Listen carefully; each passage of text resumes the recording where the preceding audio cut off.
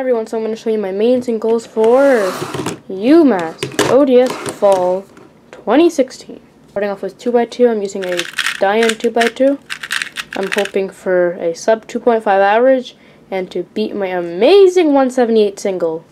For 3x3, I'm going to be using my Valk 3. Really nice cube. I'm going to hope for a sub 9 single and a sub 11 average. Or maybe even better than that, but I did pretty bad in competition. For 4x4, I'm going to be using my mini Aosu because my YuXin Blue popped and um, I lost a piece, so yay. Um, I'm hoping for a like a sub 51 average or maybe sub 50, but that just depends on if I get a lot of parity or not. So, and a sub 47 single.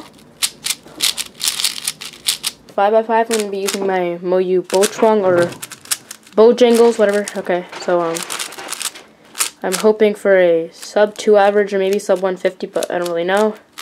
And yeah, like a sub 150 single too, but whatever. Um, just like to be honest, just make the cutoff and get an average.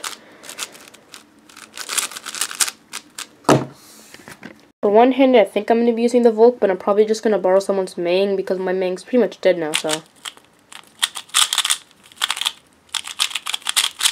And I'm hoping for a sub 21 average or sub 20 average, I don't know, and like um a sub 16 single sub um 17, I don't know.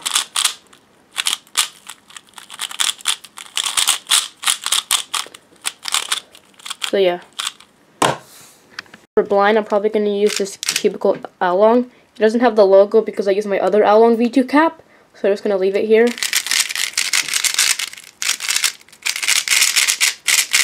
I'm hoping for a success because I've gotten two flipped edges twice officially, so I cry. Rip. So those are all my mains and goals for UMass ODS Fall 2016. Bye!